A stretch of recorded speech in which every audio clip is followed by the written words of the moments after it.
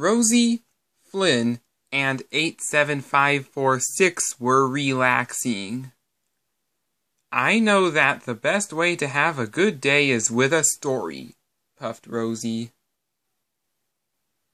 Flynn and 87546 agreed.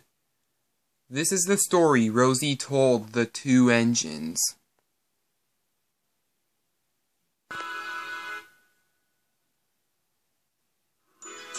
It was one great day on the South Sodor Railway. We were taking passengers and freight like normal.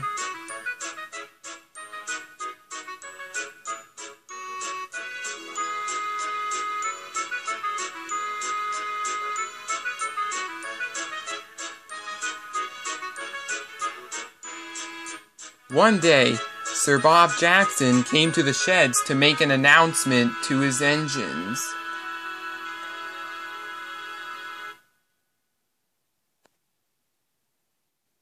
Randy needs help with passengers and freight, so I bought a tank engine for the job, he said, and Sir Bob Jackson left. After Jason returned, he saw an LMS 3F at the sheds. Jason, meet John. He'll be helping Randy with his jobs, said Sir Bob Jackson. All right, sir. John, please come with me, Jason puffed.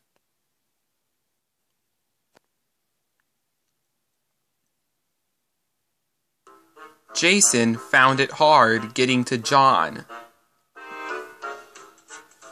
Please, wait until everything is ready, Jason puffed.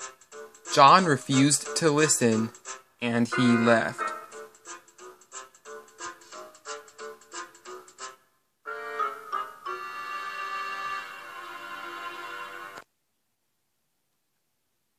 Many say that while some people waited for their train, they would hear John's grumbling while he was coming down the line.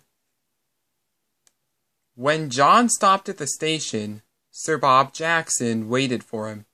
John, I've been getting complaints about you bumping the coaches every four minutes.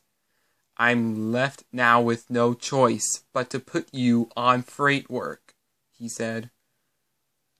After John was uncoupled, he left the coaches for Cassie to take over the train. John was coupled up to his train and he pulled them backwards. When they got to a hill, John bumped the troublesome trucks, and this was their final straw.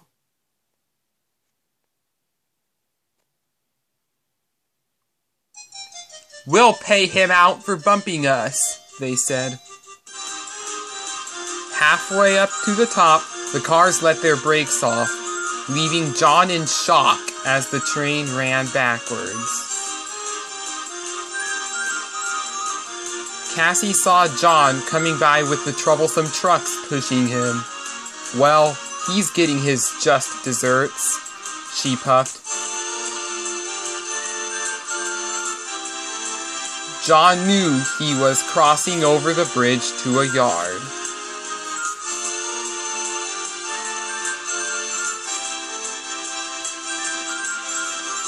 After John was switched into a siding, he left the rails, crashed into a fence, and after he stopped, his train piled up.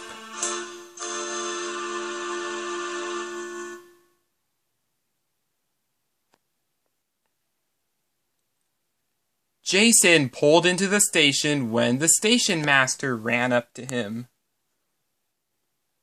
John's off the line at a siding. Leave this train for Max and collect a crane and workmen, he said. Jason was uncoupled, then puffed away. Jason then arrived at the scene of the disaster. I think that you should have taken my warning about waiting until everything is ready seriously, he said as the workmen got started. After John was re-railed, Jason buffered up to him and pushed him to the sheds. Later, Sir Bob Jackson was waiting for them. Jason, go and have a new coat of paint, he said.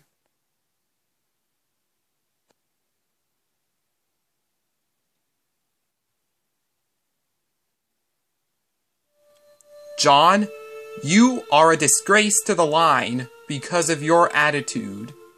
You did not listen to Jason trying to help you, said Sir Bob Jackson.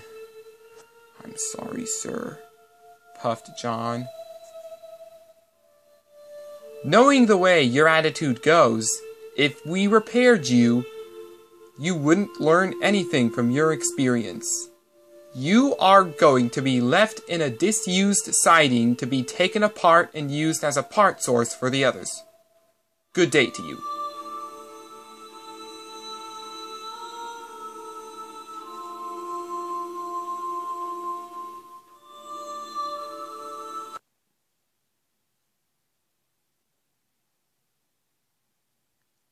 At first, he thought Sir Bob Jackson was joking. John soon realized when he really was shunted into a disused siding to be taken apart to fix the others, puffed Rosie. 87546 agreed. I wish that happened to Zack because of his behavior to you. Flynn replied, Flynn replied, and the three engines laughed.